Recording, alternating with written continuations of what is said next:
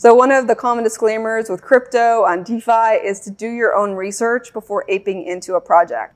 But how do we do our own research? How do we find gems before they moon or we see a wave early so that we can jump on? Well, today in this video, I'm going to show you how I find gems in the DeFi space through some pretty great and free tools. So let's jump in, but first hit that like button. Okay, so the first tool that I use pretty often is DeFi Llama and I'll show you some of the important tabs on here and what you can keep an eye out on. Now, something big that we want to keep an eye on on DeFi is TVL, which is total value locked. And this is across chain. This is in certain projects. And oftentimes, if the TVL is increasing, people are, you know, putting more confidence in uh, the project or the chain or the protocol. Now, this is total TVL across everything specifically DeFi. So you can see in the last 24 hours, it has gone up 2.21%, and there's 197 billion uh, locked in DeFi across all of these different projects, chains, everything else. Now, when you go into here, you can see that the top TVL project is Curve, which is on Ethereum, Polygon, Fantom, XDAI, and Arbitrum. So if you want to look, okay, what are the top TVL on Ethereum? You can see again, Curve is the top project. Convex Finance has 8.7 billion. Uh, I have a big bet on Convex, and you can see it has grown its TVL pretty consistently over time. Now, a good place to understand, okay, what are the projects on different chains? You can go on here and you can find, okay, let's see, Solana is a you know, on a tear right now. Let's look at the project specifically on Solana. And you can see that Saber, which is a fork of Curve. So it's a stable coin swap essentially on Solana. And it is the top uh, project by TVL on Solana. But you can also look for trends. So let's see, okay, in the last seven days, what has been the highest gainer uh, in TVL? And this project called Sunny is here. So if I click on on the Sunny website, you can see that it is a DeFi yield aggregator on Solana. So this is a good place to find new projects, to find, you know, what is increasing in TVL, to see where people's confidence is going. If you look at Avalanche, uh, you can see here that it's pretty, you know, flatline for most of the year. And then August 18th, it had this spike and that's because Curve and Aave both announced that they were launching a liquidity mining program on Avalanche. And you can see here the price on the TVL, just like complete hockey stick. And it keeps going up and they're not even there yet. So as of, you know, October 3rd, they have not uh, started on the platform yet. So I see this going up even further. Now, Trader Joe is the sushi of uh, Avalanche. I mean, sushi is on Avalanche also, but Trader Joe has more uh, liquidity on there than sushi does. And then you, if you look by seven day change, okay, what's going up? This Wonderland Time project, uh, Penguin Finance, Abracadabra. So you can find projects as they are increasing in TVL. And if people are putting their money somewhere, usually it's a sign that uh, there's confidence in the platform. Maybe there's some rewards happening. And that's where you should start looking at, okay, you know, what's happening over here. Benqi is like Aave on uh, Avalanche because Aave has not gone over there. So it's a lending borrowing protocol. I think when Aave does launch with all of their liquidity rewards, um, this is going to decrease as people move their money over to for better uh, rewards. But this is a great place to um, find TVL and see what where people are moving their money and also what chains people are moving their money to. So Terra, which just went through a big Col-5 release, you can see here how people are moving their money more over to Terra uh, and up and to the right. So maybe what should we be looking at over there? So DeFi is a great place to find where people are moving their money. At Fantom, that's also been on a tear.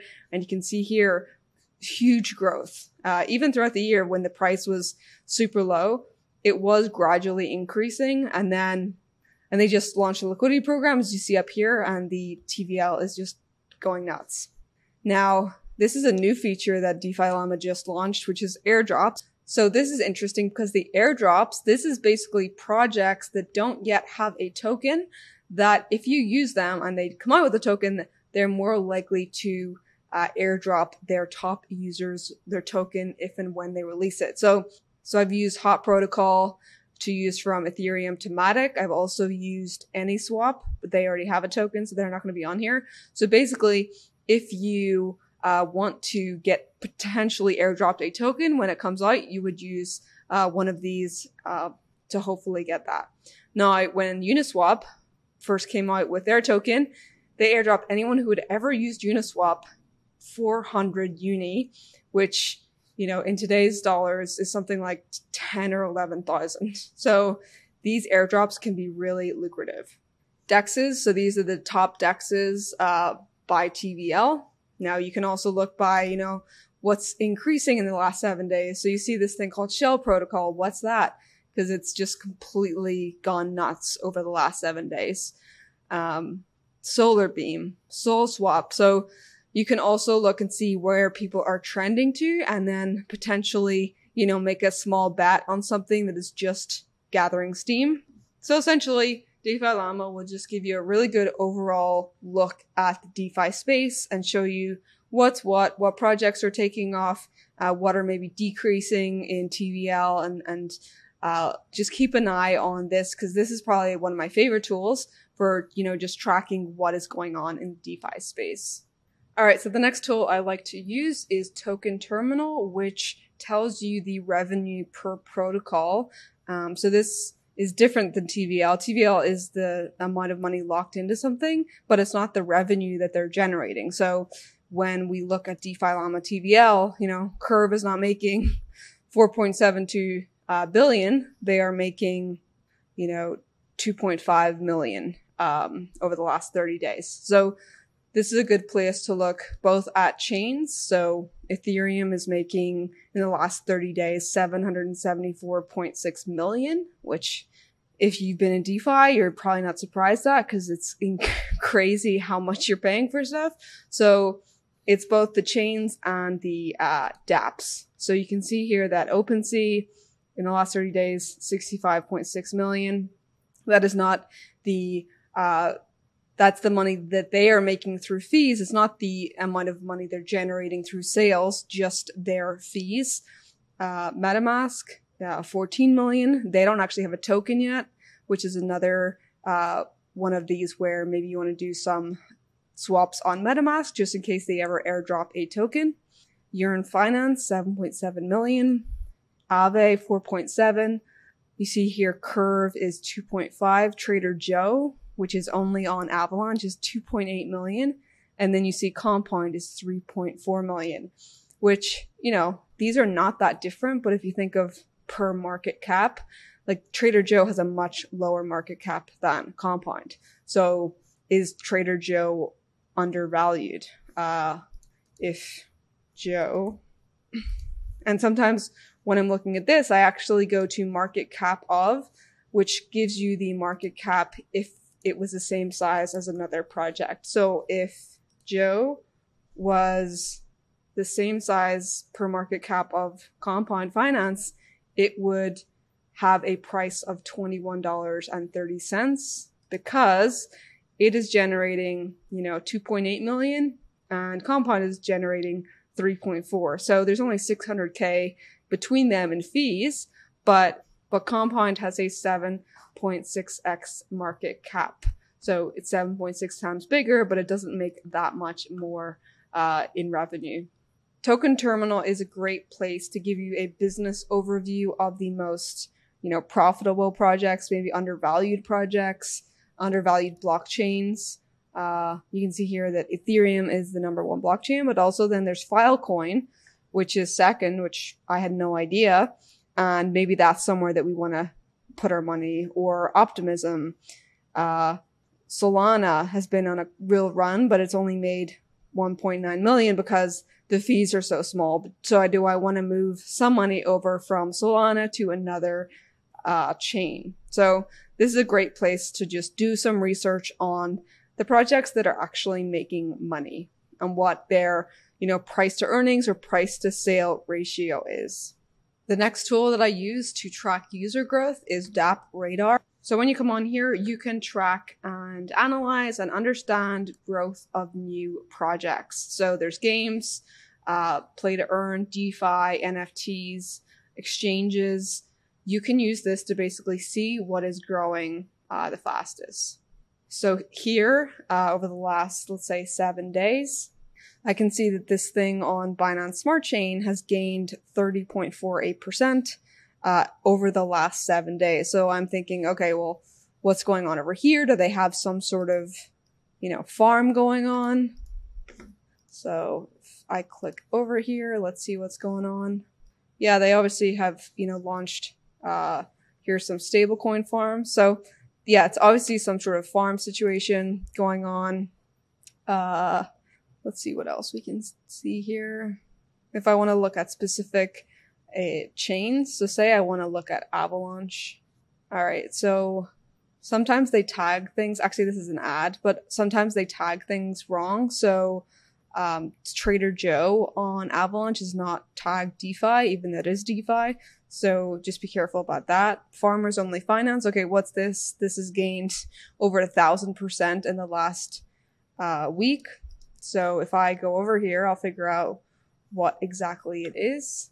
Just like I thought, some sort of farm, which actually hasn't even started yet. So if I go on here, I can see, okay, this has over 1.7 million TVL. Uh, they actually only have 100 tokens minted. So if we, I look at the farm, that's why it's, you know, 87,000% uh, APY. So, you know, if you've done the farming stuff before, you know kind of more of what that means.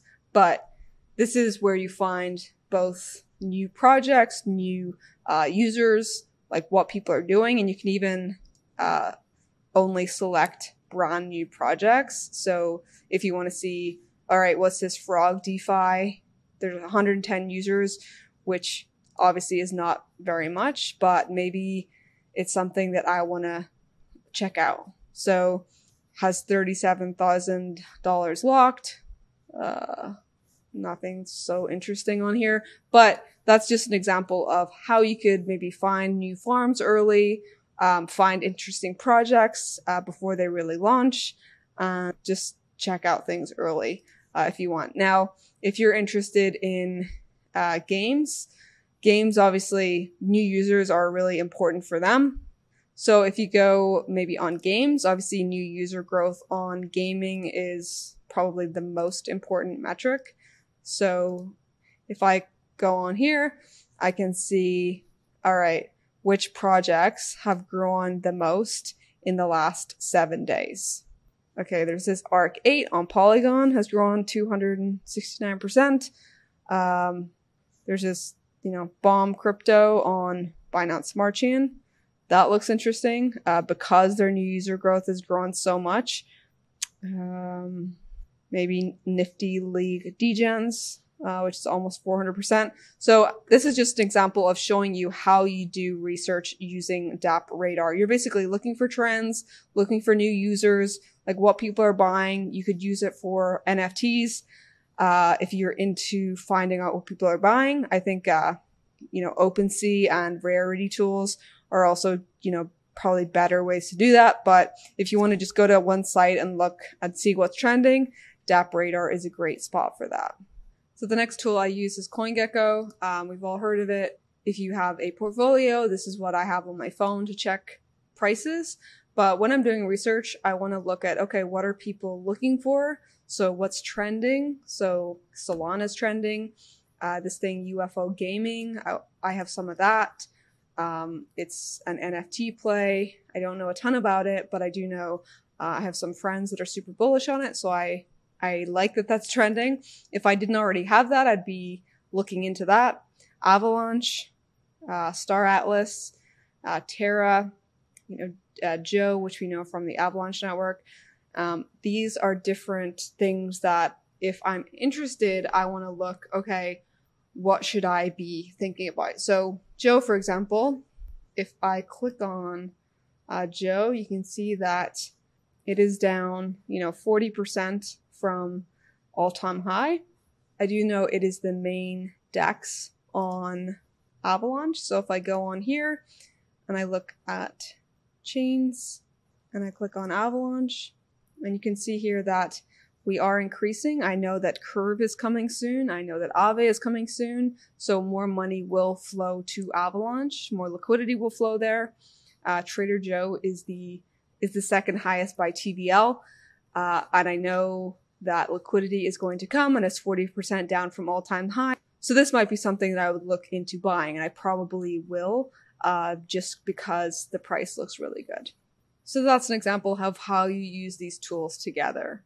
Um, if I wanted to see the top trending coins per country, I might look at that. If I wanted to look at recently added, uh, um, then perhaps I'd look at TVL or uses on DappRadar of these new uh, coins that have been recently added. So, you know, I'm, I might start, you know, taking some of these new coins, putting them into uh, DeFi Llama or DappRadar and try to figure out, okay, are there any gems in here that could possibly um, explode? That might be where I would start. Axie Infinity, I know they just uh, opened some staking uh, program and you can see this price chart over the last 90 days is just just keeps going up. So, you know, in July, this was $12.24 and now it is 127. So this is just parabolic in its rise. Uh, it's a play to earn game, but if I'm seeing this rise so much, like what else is like it? Uh, and I might go on to DeFi Llama and try to understand what might the next gem be like Axie Infinity, or how does UFO gaming compare to uh, it's also a play to earn game. How does that compare to Axie? Is this going to be the next thing? So that's kind of some examples of how I use both DappRadar, CoinGecko, DeFi Llama, and then Token Terminal to understand pricing and what might be undervalued or overvalued depending on, you know, what it is. Now, the last tool that I kind of talked about earlier in the video is MarketCapOf. This is really simple, but it's essentially comparing market caps across different projects so that you can understand, okay, so let's just say Avalanche takes off and it is the main uh, DEX of Avalanche and people that are now using PancakeSwap on BSC, they now decide to use Avalanche as their, if Trader Joe got to be the same by market cap of PancakeSwap, then it as a token with the same market cap of PancakeSwap would be $48.12. So 17x from where it is not. So if I'm looking at different chains, so let's say uh, Binance is number two, and I start to see the, the TVL dropping on Binance, and I see the TVL increasing on Avalanche. What I might think is, okay, well, Trader Joe is the main DEX of Avalanche and people are moving off of PancakeSwap, maybe I should be investing more money in Joe because it's undervalued, um, especially when you look at uh, Token Terminal. And you can see that currently, in the last 30 days, with nothing else, it's making 2.8 million. Now, uh, PancakeSwap made 17.5, but if I'm seeing on DeFi Llama that Binance is dropping in their TVL and people are moving over to Avalanche, that might be something that I want to bet on. So that's just a couple of examples of how I use these different tools to you know, find gems, to see what's undervalued, to see what's overvalued that I could get out of. And um, it's worked pretty good. So I hope this was helpful. If you like this and you want more stuff like this, uh, comment, like this video, and I will see you next time.